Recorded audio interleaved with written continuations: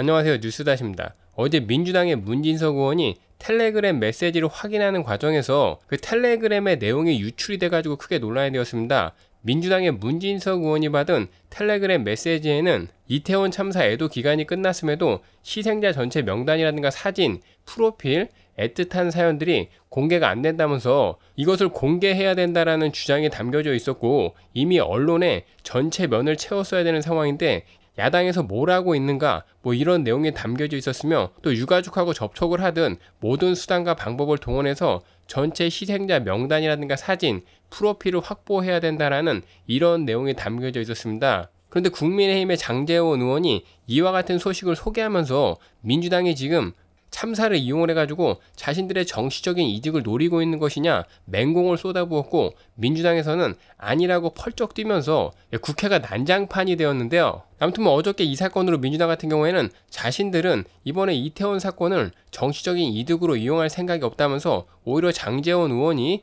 근거 없는 얘기를 했다라고 펄쩍 뛰었고 사과를 요구했습니다. 그런데 어저께까지 이 난리를 쳤었던 민주당이 오늘은 말을 완전히 뒤집어가지고 156명의 희생자 명단을 공개해야 된다라고 주장을 했고 민주당에서 국민소통위원장을 맡고 있는 최민희는 156명의 희생자 유족의 동의를 받아서 공개해야 된다면서 찝찝하다 애도하려고 하는데 이태원 12.6 참사에서 156명이 희생이 되었다는 것 외에는 아는 것이 없다면서 희생자 명단이라든가 영정, 위패가 없는 합동 조문소에 대통령은 6번이나 방문했다라고 지적을 했고 행안부 장관이라든가 서울시장, 용산구청장, 경찰청장 단 한 명도 내 책임이다.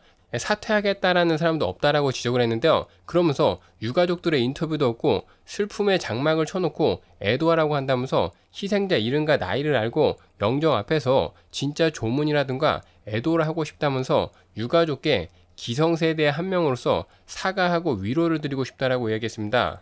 뭐 길게 주저리 주저리 이야기했지만 결국 최민희가 이야기하고 싶은 것은 희생자들의 이 명단을 공개하고 그들의 사연을 공개해서 국민들에게 알려야 된다라는 주장인 것이고 어저께 국회에서 장재원 의원이 지적을 한 것처럼 민주당에서 이번 사건을 가지고 뭔가 스토리텔링을 만들어서 정치적인 선동을 하려고 하는 것이 아니냐 이러한 주장에 대해서 민주당은 펄쩍 뛰었지만 오늘 하루 만에 입장을 내놓은 최민희의 얘기를 살펴보면은 사실상 민주당에서 뭔가를 꾸미고 있다라고 밖에 볼 수가 없는 상황입니다. 그리고 최민희 같은 경우에는 마치 유족들을 생각을 하는 것처럼 이딴 얘기를 하고 있지만 그 시꺼먼 속내가 빤히 보인다라고 생각이 될 수밖에 없는 게 이번 사태 같은 경우에는 유족 측에서도 별로 공개를 원하지 않고 있는 상황이고 이번 사건 같은 경우에는 솔직히 좀 2차 가해가 있는 상황이며 이번 사건을 가지고 일각에서는 애도하는 부분도 분명히 있지만 거기까지 놀러 갔다가 사망한 사람들에 대해서 국가가 지원을 하는 것이 맞는가라는 이런 감론을박에 있는 것도 사실이고 또 일각에서는 희생자들의 신원이 공개가 되어가지고 2차 가해가 있는 일도 있어서 민주당이 지금 단순하게 생각을 하는 것처럼 희생자들의 명단을 공개하고 추모한다라고 해가지고 국민들이 전부 다 지금 애도할 수 있는 뭐 그런 분위기가 아닙니다. 그리고 지금 최민희 같은 경우에는 유가족들의 인터뷰가 필요하다라고 이야기하는데 이거는 민주당의 입장에서는 뭐 소스일지는 모르겠으나 현재 유가족들 같은 경우에는 이러한 참사를 겪고 인터뷰할 정신이 없을 것이라고 생각이 되고 또 방금 말씀드린 것처럼 2차 가해 위험이 있는 상황에서 좋은 일도 아니고 자기 자식이라든가 가족이 이렇게 비참하게 돌아가신 일에 대해서 뭐가 좋다고 나서가지고 인터뷰를 하겠습니까? 아무튼 뭐 민주당 같은 경우에는 어저께 이와 같은 논의를 한 것이 들통이 나니까 아니라고 선을 그었지만은 오늘 최민희가 다시 한번 이런 얘기를 꺼낸 것에 대해서 당황스러웠는지 이거는 민주당의 공식 입장이 아니라고 선을 그었고 당 차원에서 이런 논의는 전혀 이뤄진 바가 없다라고 일축을 했는데요. 그러면서 만에 하나 누가 그런 제안을 했다면은 부적절한 의견이고 그런 의견을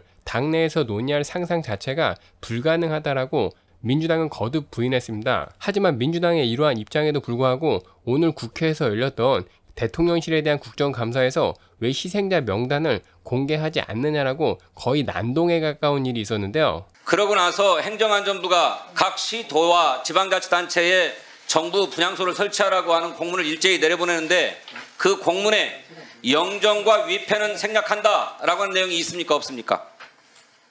영정과 위패요? 예. 그, 그것까진 모르겠는데요.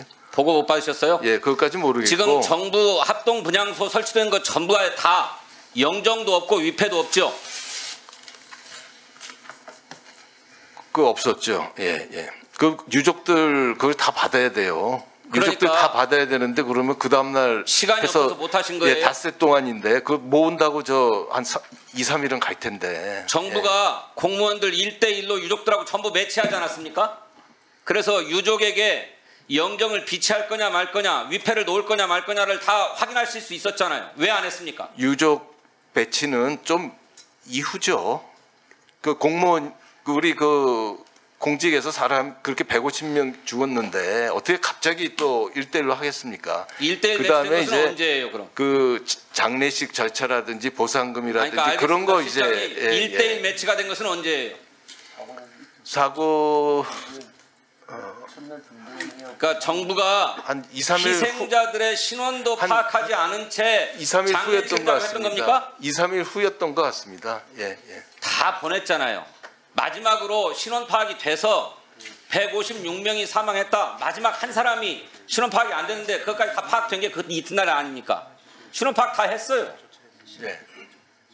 세상에 저는 그 어떤 분양소든 그 어떤 빈소에서든지 영정도 없고 위패도 없고 국화 꽃다발더미 앞에다가 머리 수그리고 향 사르고 저러는 거 내가 처음 앞- 처음입니다 이번이. 시장님은 그런 경험이 있습니까? 그 거기 뭐 이렇게 써놓지 않았습니까? 뭐라고 썼어요?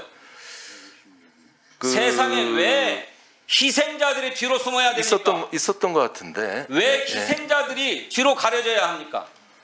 희생자들이 이렇게 왜 가려져요? 예. 외신에서 희생자들을 찾아내 가지고 보도하고 있어요. 워싱턴 포스트, 뉴욕 타임스 주로 외국인들입니다. 우리나라에 방문해 왔다가 돌아가신 외국인들을 소개하고 있는데 그 중에 뉴욕 타임스가 우리 국민을 소개하고 있습니다. 짧은 짧은 얘기인데 눈물이 나요. 김동규 18세 서울의 고- 공업고등학교 2학년 재학생으로 내년에 삼성전자에 취직할 수 있다는 희망을 갖고 할머니에게 용돈을 드리겠다고 약속했다. 원래 집돌이였지만 최근에 운동으로 살을 조금 뺀 그는 할로윈 주말을 이태원에서 보낼 예정이었다. 군중을 염려한 할머니는 가지 말라고 했지만 김 씨는 걱정하지 말라고 했었다. 박가영 19세 홍성에서 자란 여대생 박가영 씨는 11월 1일이면 20세 생일을 맞을 예정이었다. 그는 캐나다에서 패션 디자인을 유학하기 위해 아르바이트로 일했다. 어머니 최선미 씨는 어떻게 말로 설명하겠습니까? 그는 상실감과 이런 비극을 일으킨 당국에 대한 분노로 망연자실했다. 신애진 24세 고려대 경영학과 생명과학을 복수 전공한 신혜진 씨는 첫 직장 맥킨젠 컴퍼니 서울 감- 사무소에 컨설턴트로 입사한 지 두 달도 채 되지 않아 변을 당했다. 사진과 여행을 좋아했던 그녀는 토요일 부모와 커피를 마신 후 직장 동료들과 이태원으로 외출했었다. 제주도로 출장 갔던 아버지는 뉴스를 듣고 서울로 올라가 병원에서 딸을 찾아다니다가 여섯 번째 병원에서 그녀를 발견했다. 노은서 25세 관광 경영학과 경영학을 전공하는 노은서 씨는 애플사와의 면접을 이틀 앞두고 이태원에 갔다. 부모는 토요일 밤 그녀로부터 이태원에서 즐겁게 보내는 사진 여러 장을 연속으로 봤다가 밤 10시쯤 사진이 더 이상 오지 않았다. 뉴욕 타임스가 찾아서 보도하고 있는 우리 희생자들의 마지막 모습입니다. 왜 우리 국민이 이 희생자들이 누구인지를 몰라야 합니까?